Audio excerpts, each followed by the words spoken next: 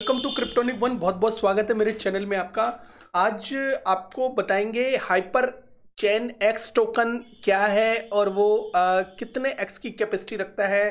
क्या उसमें एंट्री लेनी चाहिए कि नहीं लेनी चाहिए?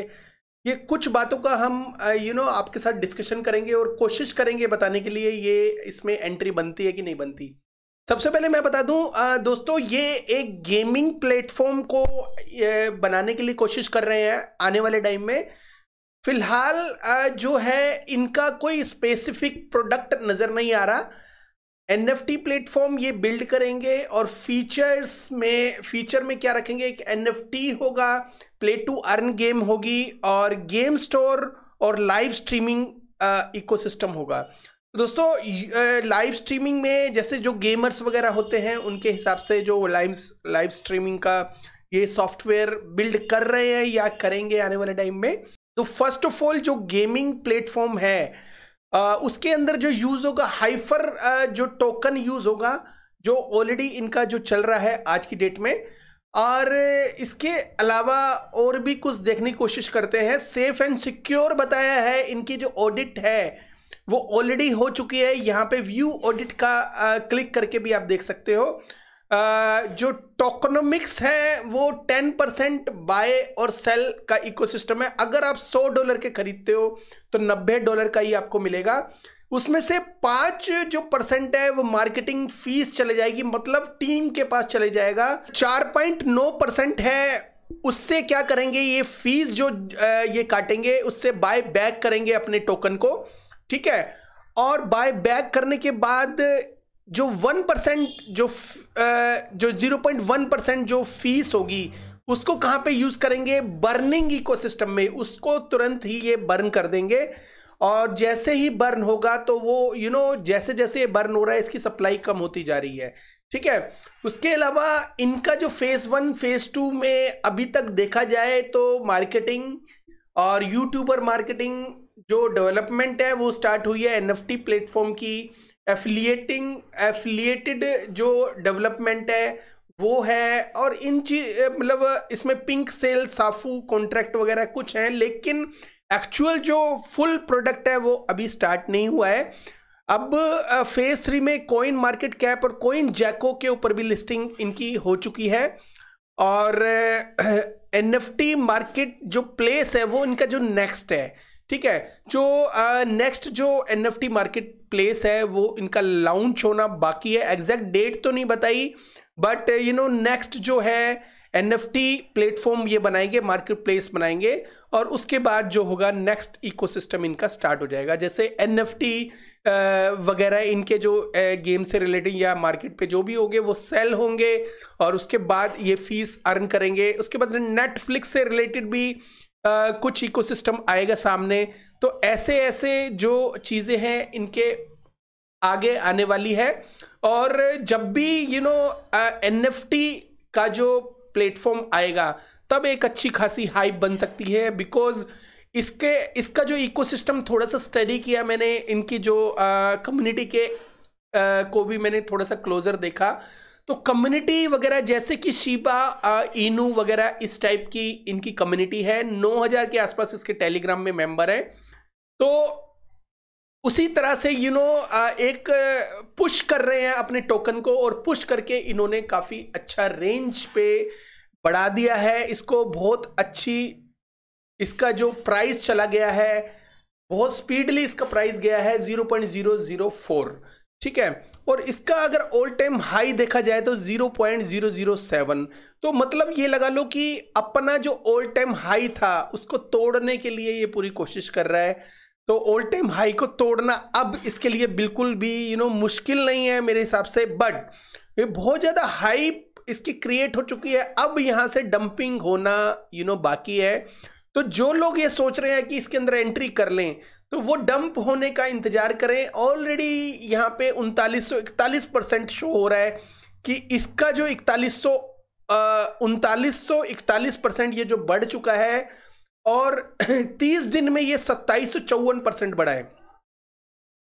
दोस्तों बर्निंग हैवी होने की वजह से ये रेट सामने निकल के आ रहा है और काफ़ी लोगों ने यू you नो know, इस न्यूज़ को देख के काफ़ी ज़्यादा बर्न किया है। अगर मैं इसका स्टैट दिखाऊँ क्योंकि स्टैट ना तो कॉइन जैको के ऊपर एग्जैक्ट लिखा हुआ है, ना कॉइन मार्केट कैप के ऊपर। लेकिन थोड़ा से एफर्ट्स हम यूट्यूबर्स को भी करने पड़ते हैं। तो दोस्तों, अब हम स्टैट के ऊपर जाते हैं। इसका जो स्टैट बेसिकली क्या है, वो देख लेते हैं। ठीक है? जो स्टैट है, फ़िलहाल जो मार्केट कैप है, इसकी चार मिलियन से थोड़ी सी ऊपर है। मैंने चार मिलियन काउंट की है। और सप्लाई जो इसकी, जो जब ये मार्केट में आए थे तो सब वन बिलियन थी। तो मार्केट कैप चार मिलियन इसकी आज की डेट में है थोड़ा सा ऊपर ही होगी, पर मैंने वो छोटा मोटा जो उसको मैं लिखता नहीं हूँ। तो सप्लाई जो वन बिलियन के आसपास ये जब टोकन आया था, उसके साथ जो सप्लाई आई थी वन बिलियन थी। फंड आज की डेट में 28 मिलियन टोकन हो चुके हैं। ऑल टाइम हाई इसका जो मार्केट कैप गया था, वो सात मिलियन के आसपास था। और आज की डेट में जो सात मिलियन के आसपास से यू नो फोर्टी मतलब थोड़ा बहुत कम है मतलब ये थोड़ा सा और पुश हो जाएगा कुछ महीने बाद या कैसे भी है तो फिर दोबारा से सात मिलियन इजीली पहुँच जाएगी। दोस्तों अगर इसका एन एफ़ प्लेटफॉर्म आता है तो हम अप्रोक्स यू नो एक आइडिया लगाते हैं बिकॉज़ ऑल टाइम हाई जो इसकी जो uh, 2022 में जब ये पुश हुआ था जब टोकन तो सात मिलियन के आसपास गई थी। तो हम जो है टेन एक्स लगाते हैं, यहाँ से जो मार्केट कैप है टेन एक्स चले जाएगी। आने वाले टाइम में सत्तर मिलियन के आसपास चली जाएगी।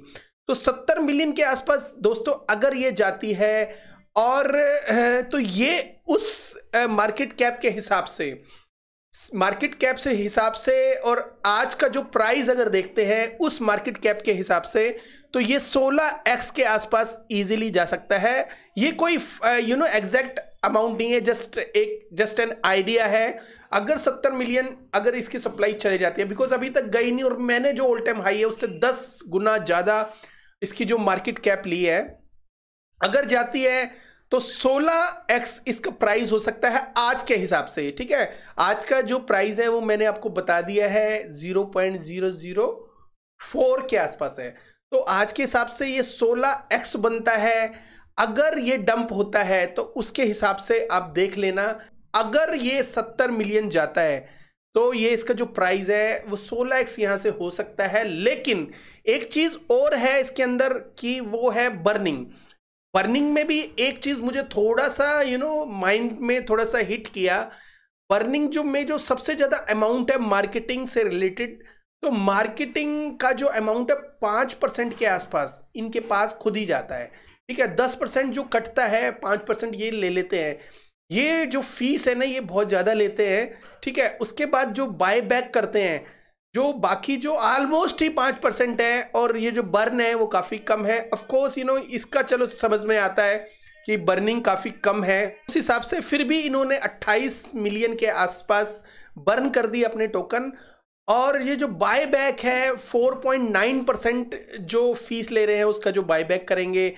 तो उस हिसाब से ये यू नो बाय बैक होने की वजह से और बर्न होने की वजह से भी इसकी जो जो प्राइस है, इसका जो बहुत अच्छा जा चुका है ऑलरेडी तो ये सब मैं बोलने के बाद एक मन में सवाल आता है, क्या मैं एंट्री इसमें करूँ कि नहीं करूँ?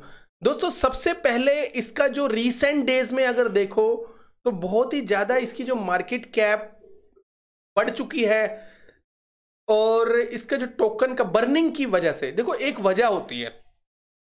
वजह ये क्या है? बर्निंग बर्निंग की वजह से इसका जो प्राइस है बहुत अच्छा जा चुका है, एक अच्छे लेवल पे जा चुका है, ठीक है? अब यहाँ से करेक्शन होना बाकी है।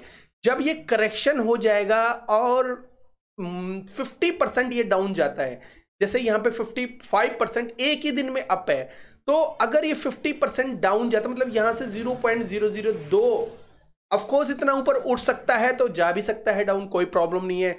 जब ये जान जाता है तो आ, उसके अंदर एंट्री बनती है। ये जाता या जाएगा क्यों? क्योंकि जो पाँच परसेंट है वो मार्केटिंग फ़ीस ले रही है कंपनी और अगर कंपनी को देखा जाए तो दो ही एक्सचेंजेस के ऊपर लिस्ट है पेनकेक स्वैप और बिटमार्ट बिटमार्ट को भी मैं एक अच्छी एक्सचेंज के अंदर बहुत ही ज़्यादा काउंट नहीं करता, ठीक है? पैनकेक स्वैप की लिक्विडिटी कभी भी निकाली जा सकती है और 10 परसेंट जो टैक्स जो होता है I I am not sure कि बिटमार्ट पे लगता होगा बट हाँ ये श्योर है कि पैनकेक स्वैप पे जब भी आप बाय करोगे तो लगता होगा। तो दोस्तों, मेरे हिसाब से इस टोकन के अंदर एंट्री अभी बनती नहीं है बिकॉज़ ये एक महीने के अंदर सत्ताईस परसेंट ऑलरेडी अप हो चुका है। अगर इसके बाद भी अगर आप सोचो इसके अंदर एंट्री बनती है तो तो यू नो तो मेरे हिसाब से ये गलत डिसीज़न होगा। अब इतना बढ़ने के बाद तीस दिन के अंदर इतना बढ़ने के बाद कितना यू you नो know, आप उम्मीद करते हो? हमें मुझे तो पूर मतलब मुझे तो उम्मीद ये है कि ये डाउन जाना चाहिए इस हिसाब से।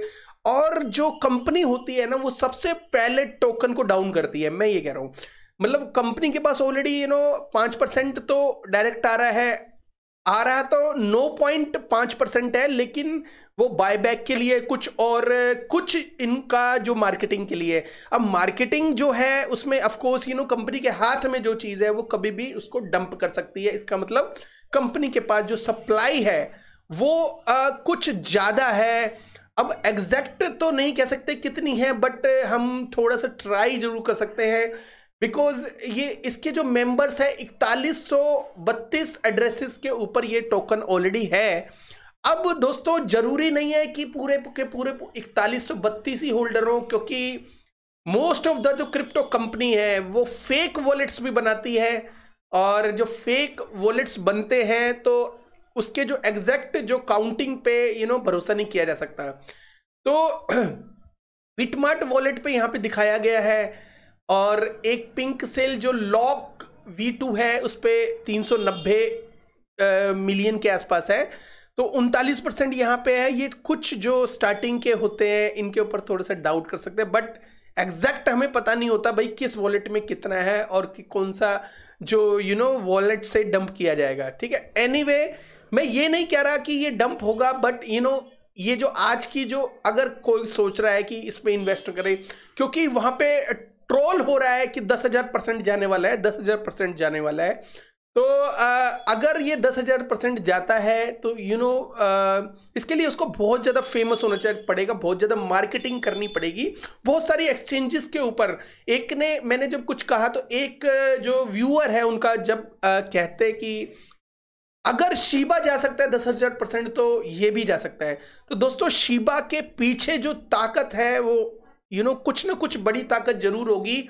उसकी मार्केटिंग में कोई कमी नहीं थी लिस्टिंग में कोई कमी नहीं थी और यू नो पार्टनरशिप में भी किसी भी तरह की कोई कमी नहीं थी। सपोर्टर्स बहुत सारे थे। अब कौन से सपोर्टर कहाँ कहाँ से निकल के आ रहे थे? यू you नो know, इससे ये पता चलता है कि शिबा इनू के पीछे जो ताकत है वो बहुत अच्छी खासी मज़बूत ताकत थी।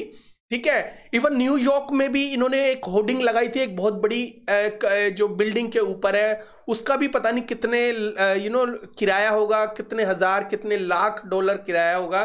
तो शिबा इनू की जो मार्केटिंग थी, और अगर इनकी मार्केटिंग देखी जाए तो मेरे हिसाब से केवल और केवल एक एक्सचेंजेस एक्स्ट्रा इन्होंने दी है। पैनकेक स्वैप पे तो मैं भी और आप भी इसको लिस्ट करवा सकते हैं, कोई प्रॉब्लम नहीं है, कोई बड़ी बात नहीं है। ठीक है? थोड़ा सा पैसा होना चाहिए दैट्स इट ठीक है? अब ये जो प्रोडक्ट है पूरी तरह से नहीं डेवलप नहीं है और इसमें आपको वेट करना चाहिए थोड़ा बहुत रिस्क ले सकते हो बड़ा रिस्की गेम है ठीक है? बहुत ही रिस्की इकोसिस्टम है इसके अंदर यू you नो know, अगर डंप आई तो बहुत सारे लोगों का पैसा भी चला जाएगा ठीक है? अब इसमें जो जब भी ये डाउन आए जब इसमें थोड़ी सी एंट्री बना सकते हो मैं बिल्कुल भी आपको एडवाइस नहीं करता इस टाइप के जो प्रोटोकॉल में आ, अगर आपने ऑलरेडी इसमें जो बहुत अच्छा प्रॉफिट ले लिया है क्योंकि मेरे जो कुछ फॉलोअर्स हैं उन्होंने बताया कि हाइपर चेन एक्स कैसा है प्लीज़ बताएँ। देखो कोई भी प्रोडक्ट अच्छा हो सकता है। इवन प्रोडक्ट भी नहीं हो टीम अच्छी होनी चाहिए। प्रोडक्ट भी ज़ीरो हो जैसे शिबा इनू उसकी टीम अच्छी थी लोगों ने बहुत पैसा कमाया। ठीक है? टीम अच्छी अगर होगी तो ठीक है। अदरवाइज़ यू नो बिना प्रोडक्ट के भी कई टोकन चलते हैं। किसी को कुछ भी नहीं होता कि फ्यूचर में प्रोडक्ट आएगा उसके दम पे वो यू नो सौ दो सौ पाँच सौ हज़ार एक्स कर देते हैं। ठीक है? एनी anyway, तो इसका जो जो प्रोडक्ट है आने वाला है मार्केट में अगर आपने होल्ड करके रखा हुआ है तो ये बुकिंग का ये प्रॉफिट बुकिंग का टाइम है। अगर आपने होल्ड करके नहीं रखा एंट्री बनानी है तो थोड़ा रुक जाओ।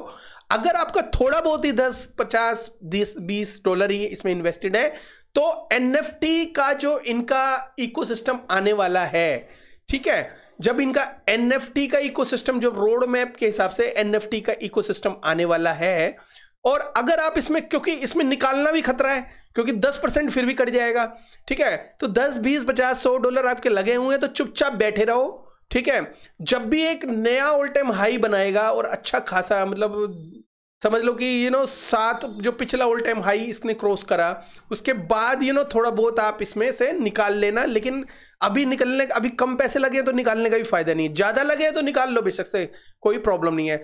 बाकी प्रोजेक्ट आने वाले टाइम में पता चलेगा, देखो एग्जैक्ट तो नहीं बता सकता बट एग्जैक्ट मुझे ये चीज़ थोड़ी सी हैवी लग रही है कि मार्केटिंग के नाम पे पाँच, इसको थोड़ा सा अपने हिसाब से भी आप रिसर्च कर लेना।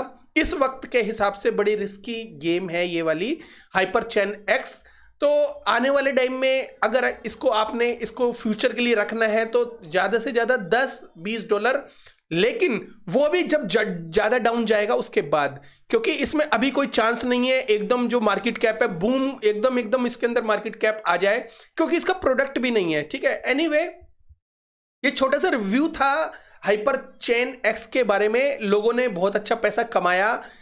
ठीक है, अब टाइम है प्रॉफिट बुकिंग का। Thank you so much have a good one take care and bye bye